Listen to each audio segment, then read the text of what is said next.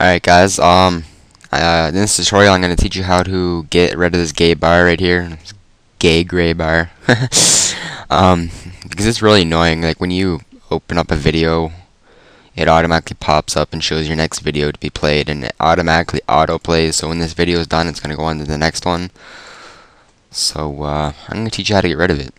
There's, uh, one, uh, here's one of two ways, actually. Up here in the URL, right here, there's this little and symbol. Go and and all the way over and delete it and hit enter. And that's one of the ways. Alright.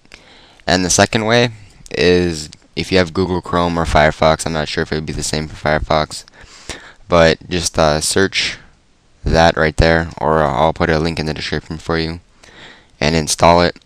And I already have it here, so I'm going to enable it, come back to the video,